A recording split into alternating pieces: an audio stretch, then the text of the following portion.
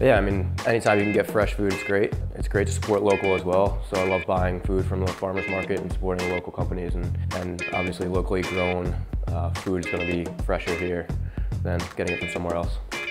Yeah, so they surprised me with some peppers, some onions, some broccoli, some chicken. Um, so I figured, you know, a lot of stuff that goes perfectly in a chicken teriyaki stir fry. Meal was made, pretty easy. Again, it was easy, but also it was, it's a good pregame meal. We, we play tomorrow night, so I wanted to make sure I got, you know, the important things in my body um, for a game was able to do that. If you want the best, it's got to be NC.